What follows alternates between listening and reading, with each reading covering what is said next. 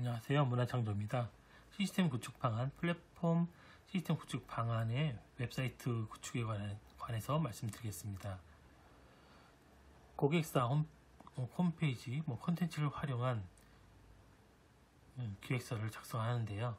각 페이지별 시안도 작성하고 세부 항목에 따라 페이지 수가 많아질 수 있습니다.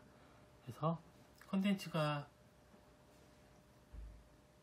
뭐 다양한 무슨 포탈이면 다양한 콘텐츠 될수 있는데 대부분 고객사 콘텐츠 발주한 업체의 어, 콘텐츠들은 뭐 이렇게 어느 한정된 그룹이 될 수 있고요.